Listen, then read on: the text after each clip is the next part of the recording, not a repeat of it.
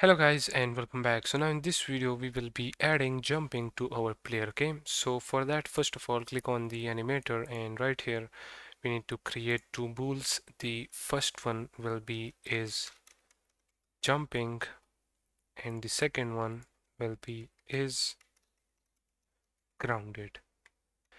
Then we need to add the animation. So in the main locomotion pack let's search for jumping.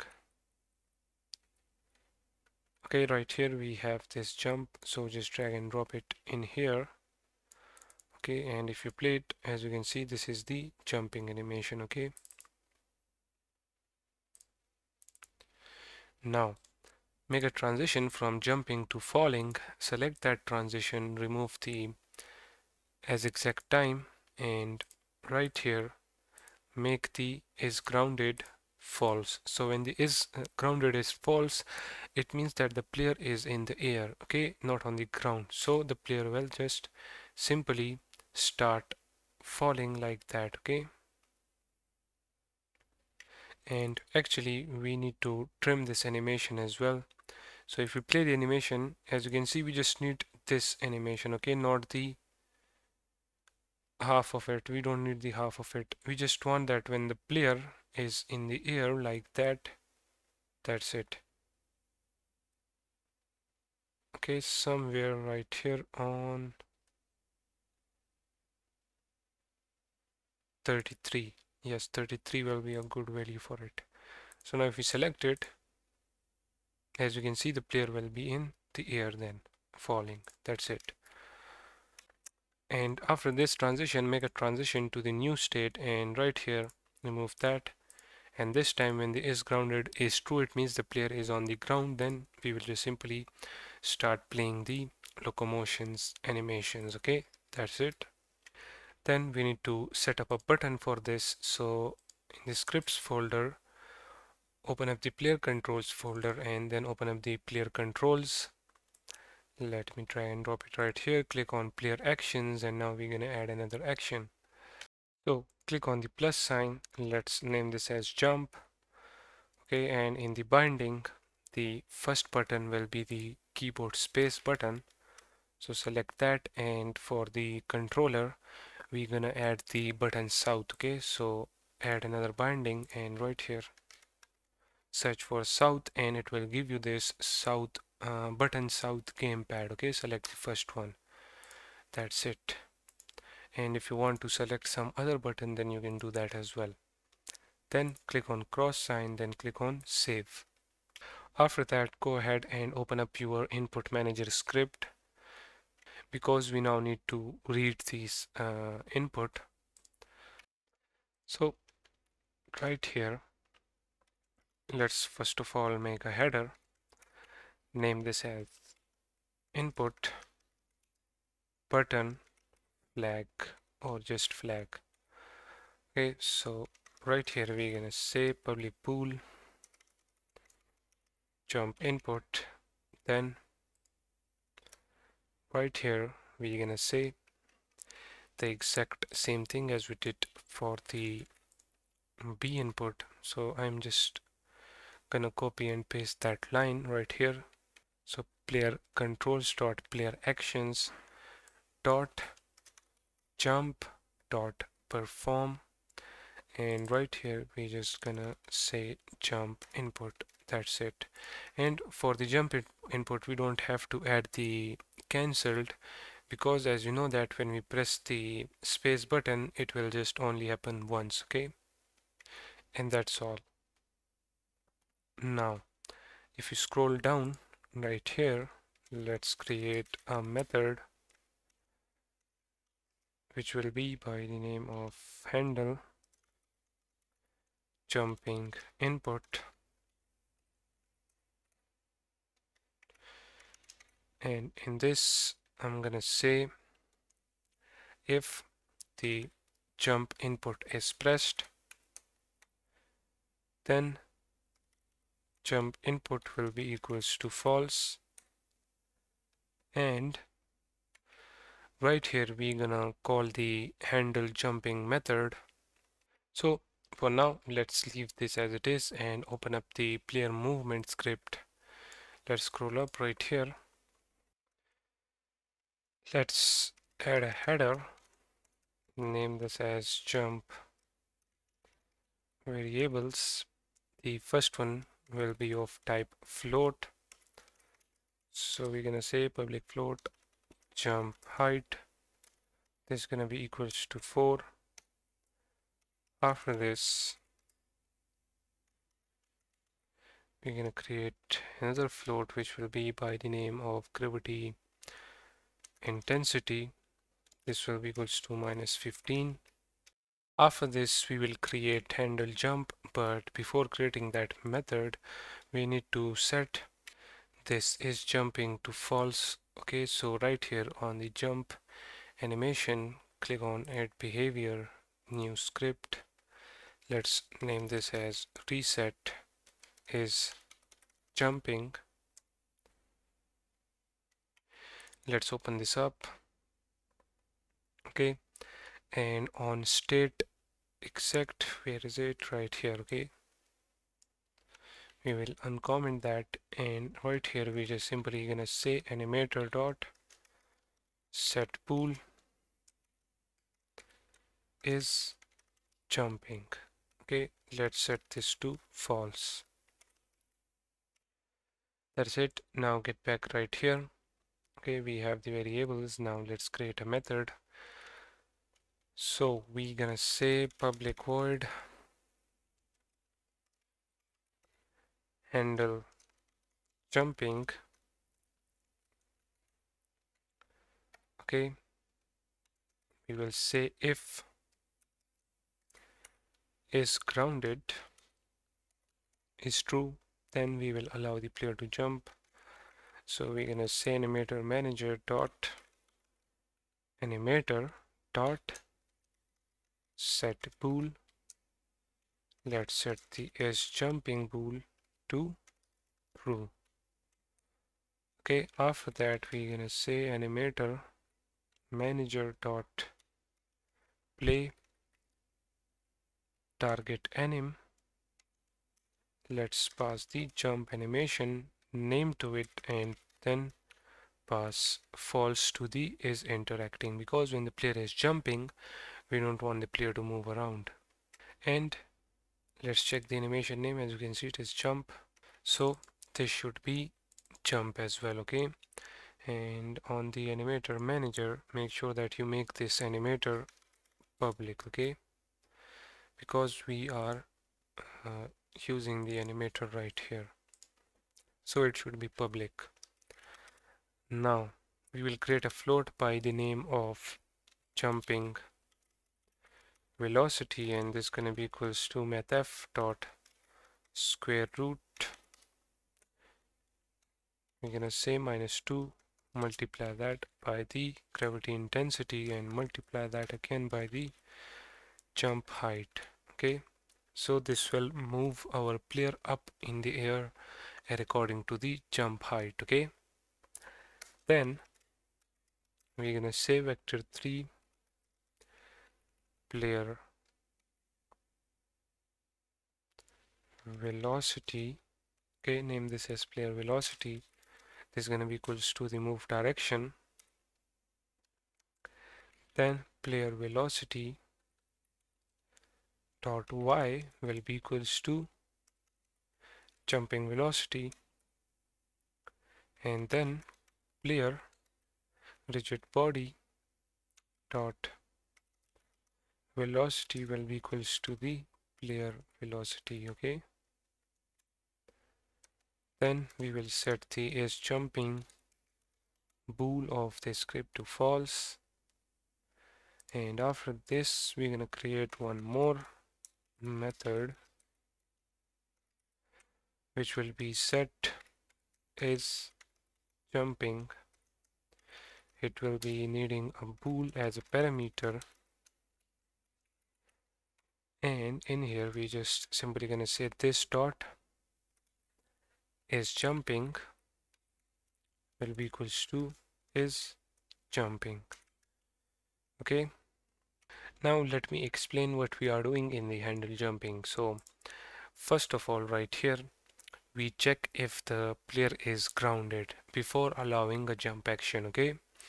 Then right here we set the set the is jumping parameter in the animator to true to trigger the jumping animation okay? Then in this line we play the jump animation using the animator manager dot play target animation method okay?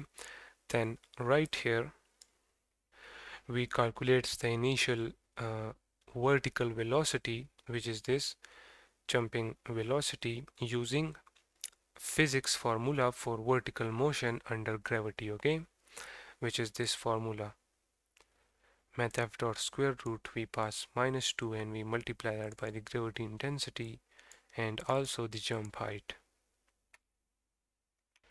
Then right here what we did is we update the player rigid body velocity which is player rigid body dot velocity to initiate the jump with the calculated vertical velocity okay? And then after that we set the is jumping to false to indicate that the player is no longer in a jumping state after initiating the jump.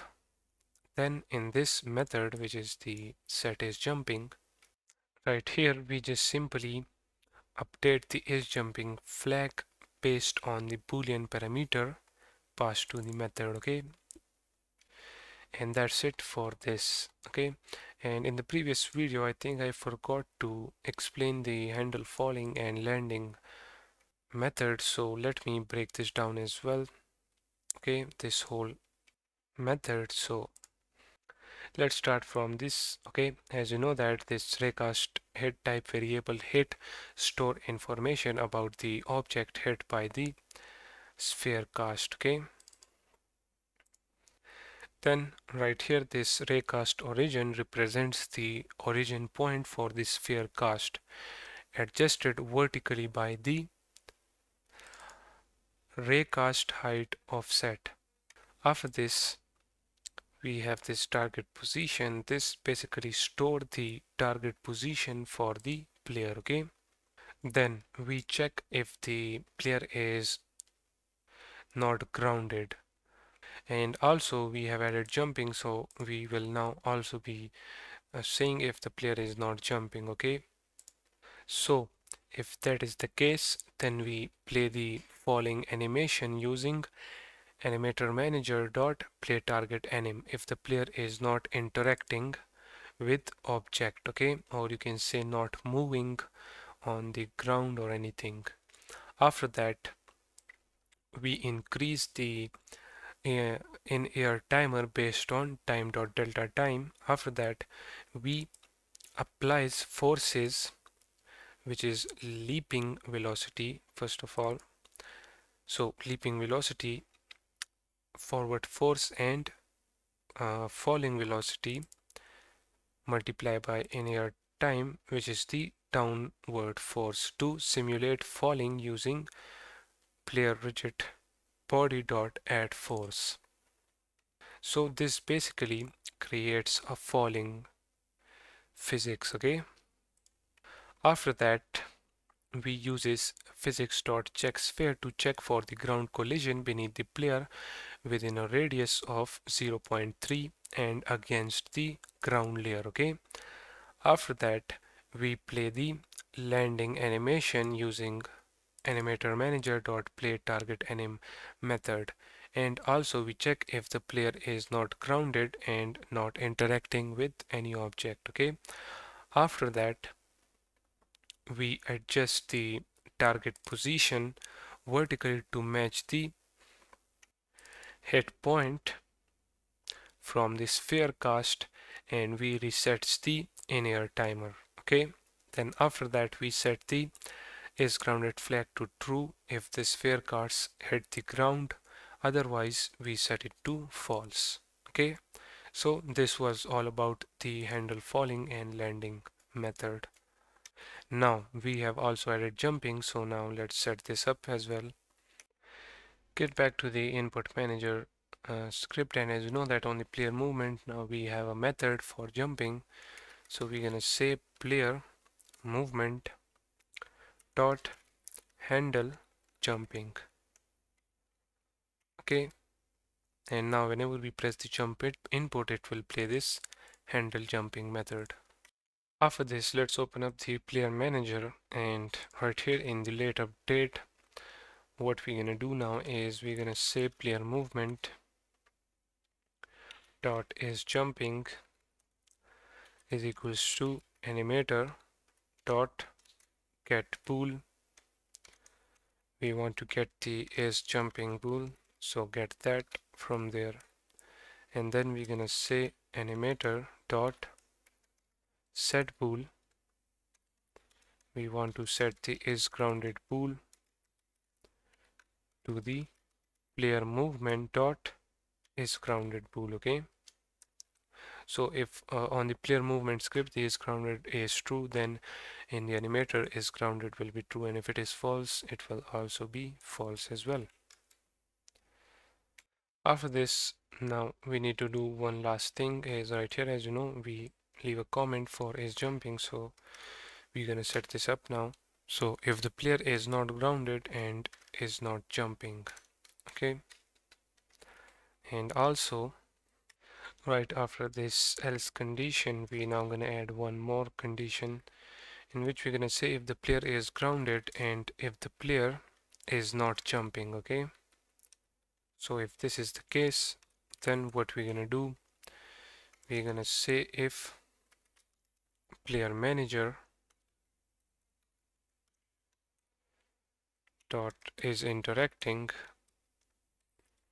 or input manager dot move amount is greater than zero then what we're gonna do in this case we're gonna set the transform dot position which is the player position to vector 3 dot lerp transform dot position. Then we're gonna pass the target position and then we're gonna say time dot delta time. And then we're gonna say 0.1 f. Okay and in the else we're gonna say that the position of the player will be equals to the target position. After this in the handle rotation when the player is jumping we don't want the player to rotate okay so let's set the is jumping. If that is the case then simply return from there and don't rotate. That's it. And we can add the same thing on the handle movement method as well. If you want you can just simply type this right here like this. Okay but I prefer to do it in the method so it's your own choice. Now let's save the script and get back right here. As you know we have these seven errors so let's start from the first one player movement 60 and 92 here is the same error.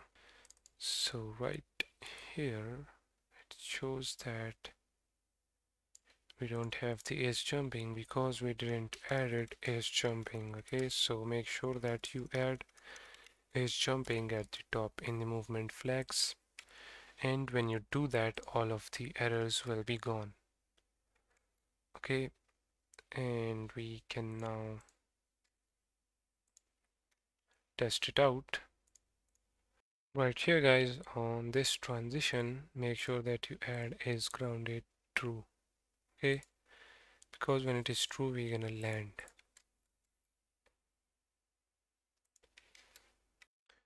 I've moved down the player back to the ground so that we can see how does it looks now. So here is the player. Now as you can see the player is shaking and if you press the jump button as you can see jumps gets equals to true but no animation is playing as you can see. Okay. And this is because in the handle jumping method this method is not called anywhere. And of course if it is not called anywhere then the handle jumping will not be called okay? And also I have added this line so make sure that you add this line as well to this method okay? This is the only change I have did. And also copy this method name and make sure that you put it right there in the handle all inputs. That's it and after that let's play the game again to see if it works now or not. Okay so as you can see the player is on the ground. Okay so the player is jumping.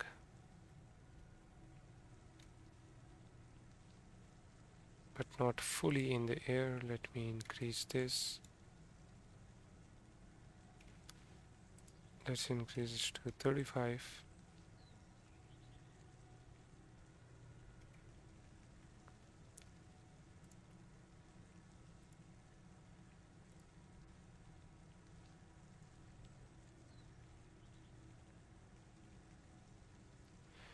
Okay, so the player gets stuck in the air as you can see.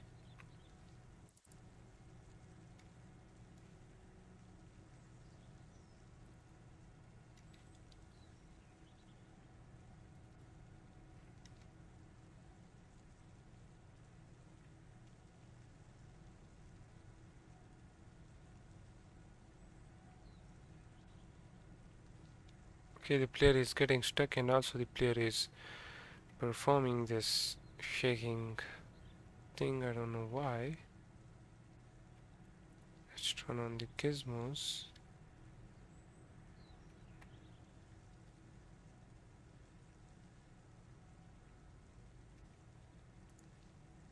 alright